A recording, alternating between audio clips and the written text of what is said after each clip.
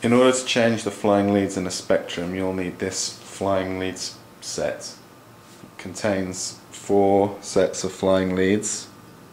You'll need eight PEEK nuts, of silicon grease, some gripper fittings, labels, a 3mm Allen key and a flying lead guide. The first stage is to remove the two flying lead clamps. For this you'll need a 3mm Allen key.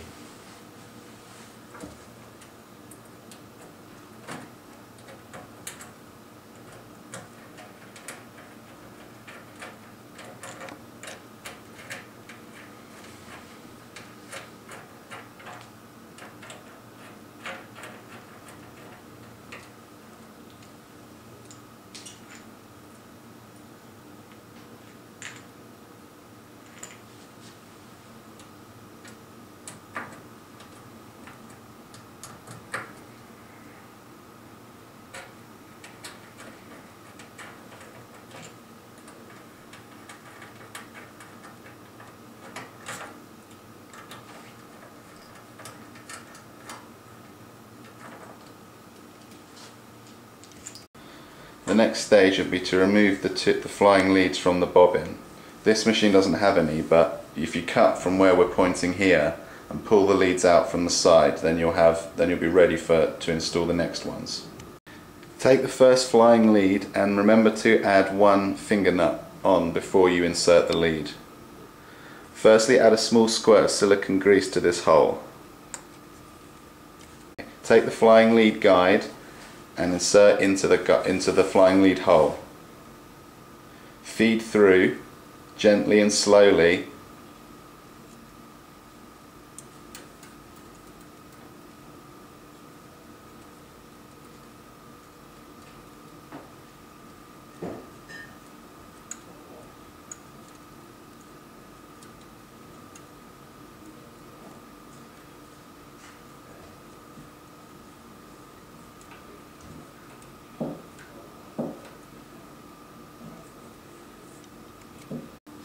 Once you've inserted the flying lead guide, it should emerge from the side of the machine, like so.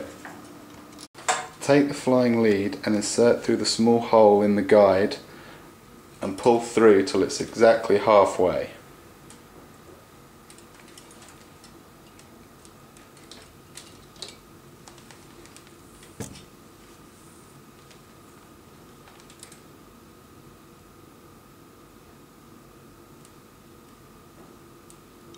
Once you've inserted the flying lead into the flying lead guide, grab hold of the flying lead guide on the outside of the machine and feed the flying lead through.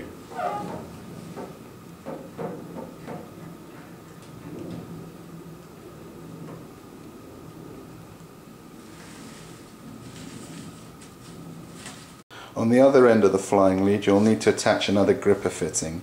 Take a scalpel like so and cut a very shallow angle through the other end of the tube. Add a, add a PEEK nut onto the ends. Then take one of the gripper fittings supplied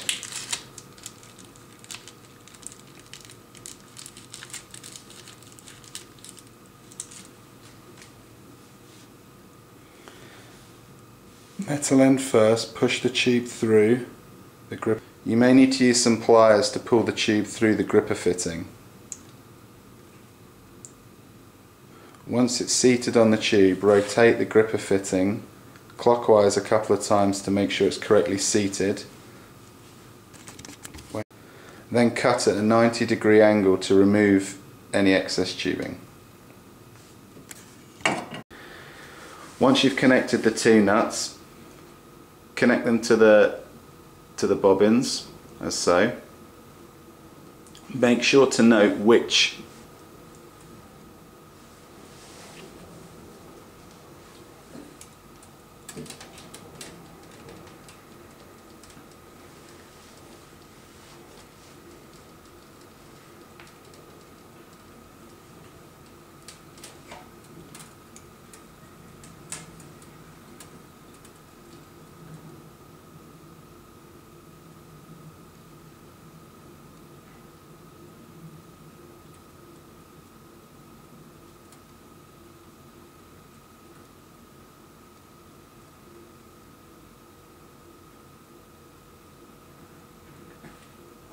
These nuts need to be finger tight only.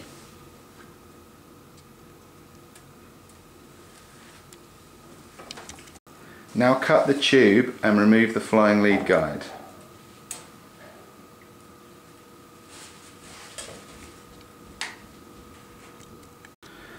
Pull each tube through, adding a small extra amount of silicone grease. This will prolong the life of the flying leads.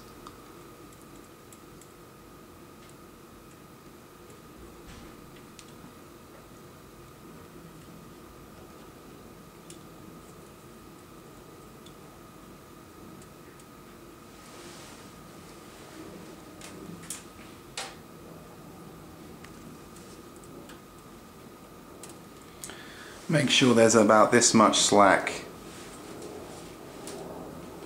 Each flying lead kit comes with a set of labels. On each on each bobbin there is a label showing which which uh, which column you're connecting to. In this case we've connected to PP1. Take the correct label and make sure to add to the end of the flying lead. Here you can see the flying lead's been labelled. This is, this is very important so you know which to connect to the valve box. Pull the second flying lead guide through, flying lead through using a small amount of silicone grease the same as before. Then make a note of which column it's attached to and label up as before do the other side of the bobbin the same as the first, insert the flying lead guard and the flying leads and attach to the bobbin as before. Once you finish the first bobbin, grab all four flying leads as shown and then rotate the rotor clockwise two or three times in order to spin up the leads and to take out any slack. Before attaching the flying lead clamp to finish the process on the first bobbin, make sure that there's enough slack between the uh, nut and the bobbin itself. You can do this by inserting a finger underneath as shown. You don't want them to be too tight but at the same time you don't want them to be too slack either. Each flying lead clamp has a groove as, as you can see here the front lead should be pointing towards the back of the machine and the back lead should be pointing towards the front of the machine. Make sure to attach the clamp with the groove pointing in the correct direction. Attach the clamp and reattach the Allen keys. Make sure that the flying leads are not being pinched. With the clamp attached, you should be able to get still some movement on the leads, as shown here retighten with a 3mm Allen key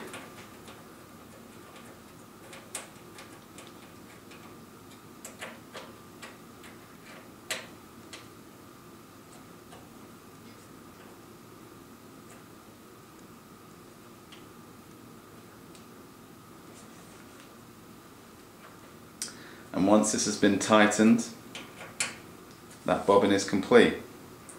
Repeat for the second bobbin and that's how you change flying leads on a DE Spectrum.